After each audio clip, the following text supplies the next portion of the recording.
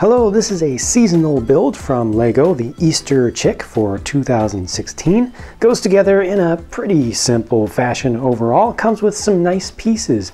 Good to get the 1 by 2 by 2 thirds curved pieces used for the toes, and they also have the orange clip pieces used there.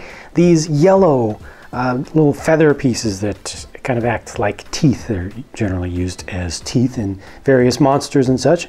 Those are nice to get in that color. And this thing has a, a fair amount of posability because the head can be spun around fully, kind of helps to bring it to life very quickly. The little winglets can be brought up. The entire body can be rotated. Look at that, independent of the, of the neck like that. They're just on regular 2x2 turntables, and all of these little, little toes can be individually moved up and down. Uh, most of the time, you're probably just going to have those just flat on the on the ground. But uh, you know, if you put it on something that has a little bit of an edge, you can kind of hang those over the edge and give it a little bit more personality in that way. Yeah, it's it's a pretty simple thing, but it's super adorable. It's just really nice to look at. It's it's a cool thing to have uh, for any age for just a display, if nothing else. You know, adults can put this on their their cubicle wall at, at work or whatnot, and it's just a, a, a small little quick little conversation starter. It's something to make your day feel just a little bit brighter.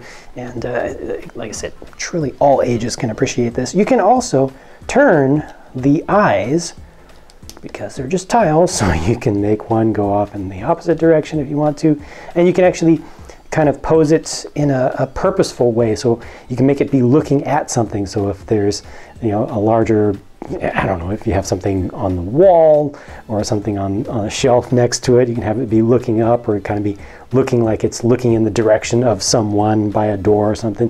You know just a little little extra thing you can do. I appreciate the gap in the the beak as well between the the top and the bottom. That's pretty nicely done. A little fraction of a of a uh, brick worth, or even a smaller than a single plate as well. Nice, nice choice of offset there. Yeah, it's a cool little thing. I like it. Uh, not much to say about it from a review perspective because it is exactly what you see.